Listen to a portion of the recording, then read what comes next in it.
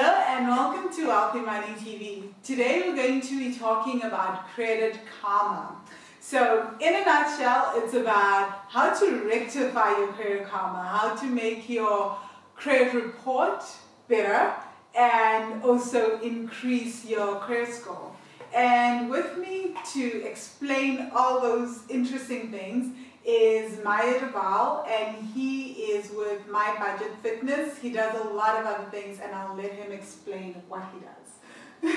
Hello, Wendy. We've developed a couple of concepts. I'm a practicing attorney, and we developed a couple of concepts. One is the rent to buy concept, where you can rent a property first, and then during the rental period, you can improve your credit score, your affordability, then we went out to develop the concept of my budget fitness because we saw that a person that is renting with an opportunity to buy must get his budget fit, otherwise the bank won't approve a home loan.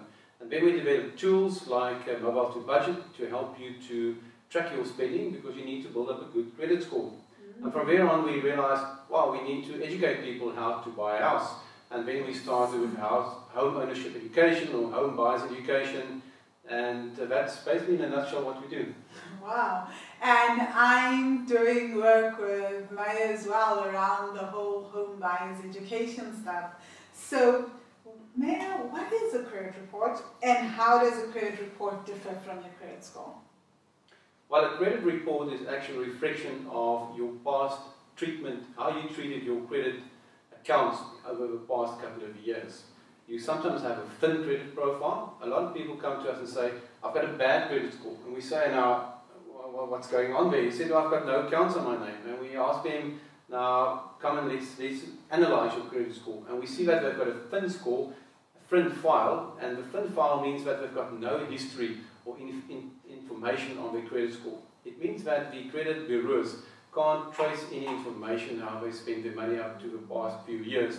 And therefore you actually have a negative score. So the bad thing is that you've got to go out and open store accounts or credit cards. But very importantly, treat these accounts with care. Pay your accounts rather earlier, two days earlier than later, because this information stays on your credit profile for up to two years. Mm. And if you miss a payment, immediately you are downgraded. Mm. Interesting. Why do credit scores matter and what, what range would you consider to be a good credit score? Every bureau has got a different scorecard. Oh. So you've got to look into the scorecard. Some, some of them um, work on a score of 700, some of 900. So you can't actually say getting a score from one to the other one is a good score. Yes. The nice thing what the credit bureaus have started to do, and some of the companies that also compile two or three or four reports in one, is that they give you almost like a dashboard, like a petrol indicator. If you are red, you are got a low score. If you're yes. orange, you average, and if you are green, then you know that you've got a good score. So it's quite important to work onto those scores but a credit score, a green one, doesn't always um, indicate that you'll get a home loan yes. because that credit score is married or combined with your affordability. Yes. And at the end of the day, the combination of those two will indicate if you can get a home loan. But if you have an average credit score, that means that you are measured over the average population in South Africa. We have about 20.2 million credit active customers in South Africa. And we look at, see that about um, 37, 35% of them has got a good score, that means green. Yes. And the rest of them are about orange and red and all that. But if you could give us a figure, like I'm always very fascinated by this, because personally I don't, I assume I've got a good credit score now, but wow, because I qualified for a home loan, but what range should people be looking at in terms of just a number? Is 700 a good credit score? But yeah, I'm not going to be able to answer that because it's say you're going to look at different credit bureaus. Yes. And then one, like a Compuscan would be maybe out of 700. And then if you have 655, that would be a good score. Oh, so I would depends rather, on the credit That's right, yeah. And it's interesting that some of them have a score out of 15. And it means out of 700 people, you would have, your percentage would be on top or average or below. Oh. So rather what I would suggest is go and draw your credit score. And then if you work with a bureau that gives you a good analysis, you'll immediately see that you have a good score. But again, that don't stay yourself blind at that credit yes. score because it will actually um, sometimes it can be misleading because sometimes you deal with a bank and they have an appetite for a particular month to expand their business. Sometimes yes. they are very restrictive in their approach. Yes. And then even if you've got a good score, you think, why am I not being qualified? So it's, it's a different, I can't list everyone, but I would just go and say, do a credit report and you'll get an indication if you've got a good score or a bad score or an average score. Okay, okay. So how do you build credit? I mean, for someone like me, what, what would you advise for someone like me who was in my shoes uh, two, three years ago, where you're just drowning in debt, you're trying to figure yourself out, you're trying to build a company, so your credit score sucks. How do you go about building a good credit score? It takes time. The problem lies that if you have missed one payment, that information stays in your credit profile for up to six months.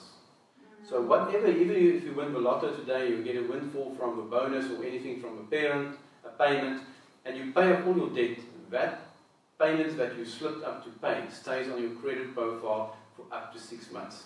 Wow. Now, what happened last year in April, we got the credit amnesty. And with amnesty, it's almost like your score or some of the bad things on your credit score has been Tipex out for those that can still remember the good old days of Tipex. so it's like you come to a to a bank and you apply for credit, and all of a sudden you've got some empty spaces in your credit score. And because they can't trace back what happened with your credit in the last six months or 12 months, they now start to wonder what went on on this person's profile. And because they can't pick up any information there, they actually start uh, having question marks about question marks about you, and therefore it takes longer to provide credit. Or alternatively, the moment that there's a risk element involved, they increase your credit uh, interest rate. So we actually see a reverse uh, situation that happened that people thought it's going to be easier to have access to credit yes. with amnesty coming in, and now it's actually reversed order. It takes longer, it's more expensive. Wow. So your credit score is actually made of about four or five components. The one is the length of your credit. The other one is how you treat your credit. Do you pay regularly and on time? Mm-hmm. The amount of your credit. And then again, um, again your recent, most recent applications. It also goes into your um, last year or two applications that you submitted where you're successful. Sometimes people go on a Saturday morning, they decide to go to a particular retail store. Mm-hmm. They start applying like three or four accounts, and maybe mm-hmm. two of them will approve. But that shows they had applications for four credit applications. Wow. And that means that you are shopping around for debt. Oh, wow. So it means like you're a little bit desperate here. And all mm-hmm. this desperation brings out a red flag for a bank or a money lender.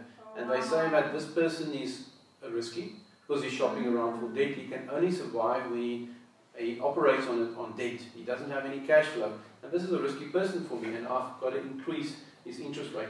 And that adds to a negative credit score as well. Wow, that's incredible.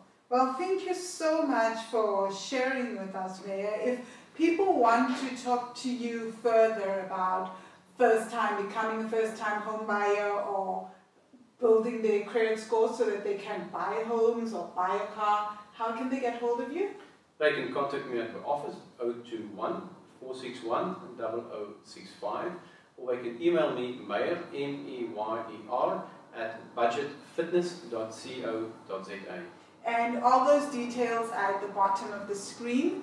If you really love what Meyer had to say, please keep watching. We'll be back with another episode next week and we're going to have way more video interviews with him. In the meantime, subscribe to the YouTube videos, connect with us on the Wealthy Money website. I look forward to hearing from you. Have a fantastic day. Bye.